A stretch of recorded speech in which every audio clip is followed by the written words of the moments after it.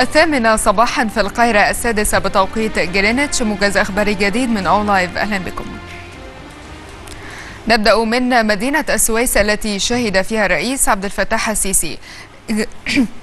إجراءات تفتيش حرب ورفع الكفاءة القتالية للفرقة 19 مشاة بالجيش الثالث الميداني. على صفحته على موقع تويتر قال وزير خارجية البحرين الشيخ خالد بن أحمد الخليفة إن بلاده لن تحضر القمة الخليجية المقبلة إذا لم تغير قطر موقفها دعم للإرهاب.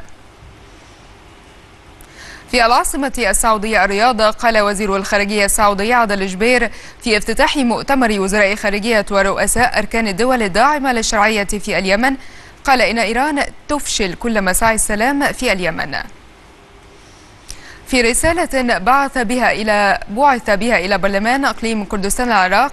قال رئيس أقليم كردستان العراق مسعود برزاني إنه لن يستمر في منصبه بعد الأول من شهر نوفمبر القادم.